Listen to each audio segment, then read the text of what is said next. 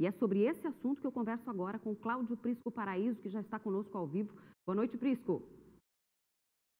Muito boa noite, Bruna. Boa noite a todos. Sim, porque Augusto Aras interpreta que esse inquérito está eivado de ilegalidade.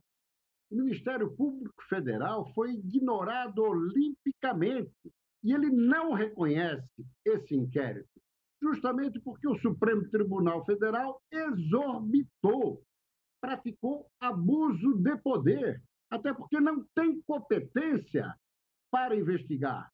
Esse é o papel da polícia, como, por exemplo, a Polícia Federal que é apurar as fake news. Muito bem. Só que agora a decisão é de Edson Fachin, que também é ministro relator da Operação Lava Jato.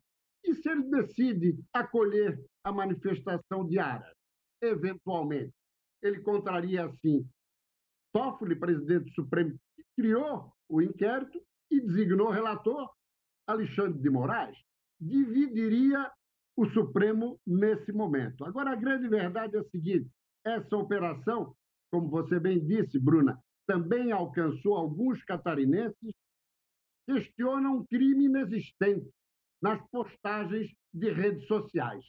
Portanto, o Supremo Tribunal Federal, que deveria ser o grande guardião da Constituição, é quem está a atentar contra a própria Carta Magna. Bruna. Seguimos acompanhando esse assunto, né, Prisco? Boa noite, obrigada para você aí pelas informações.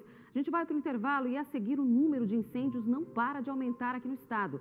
Um levantamento do Corpo de Bombeiros Militar de Santa Catarina aponta que desde janeiro já foram quase 3 mil ocorrências.